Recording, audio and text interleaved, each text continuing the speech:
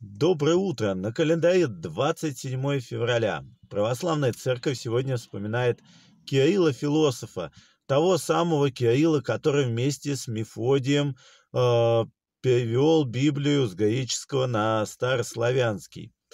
А в народе сегодня было принято выходить на огороды, смотреть, сколько лежит снега, и его притаптывать, чтобы он лучше таял.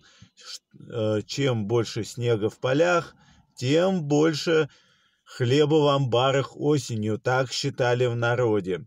Кирилла называли весноуказчиком, считали, что по погоде, которая стоит сегодня, можно угадать, какой будет весна. Если день солнечный, значит, скоро ударит мороз.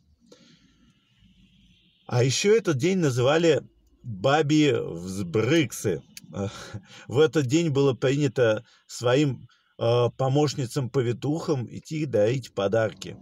Всем хорошего дня, дарите подарки, мир, любовь, а внимайте любимых чаще.